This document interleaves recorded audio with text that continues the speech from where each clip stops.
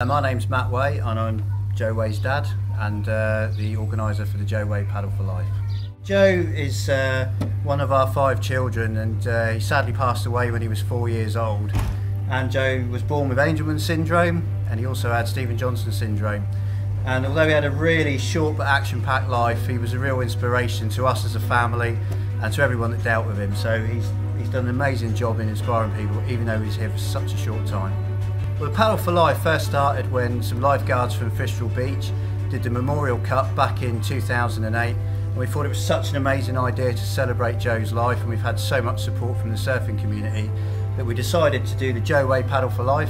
And it's been running, it's its 10th paddle this year, and we've uh, really, it was all about raising money, raising awareness, trying to bring the community together and it's been an amazing community event now on uh, people's calendar and it, it, just brings everyone together for a really good time and lots of music, bands, food, drink and people celebrating Joe's short life but being positive about it.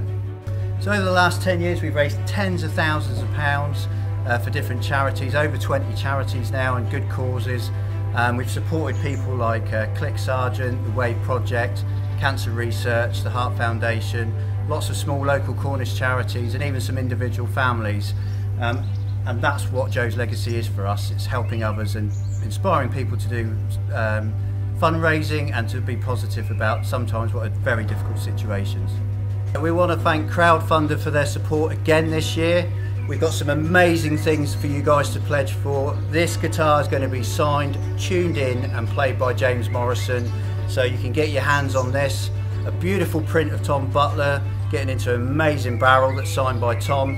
And also Ben Skinner's signed portrait of him smashing a barrel down at Porthleven.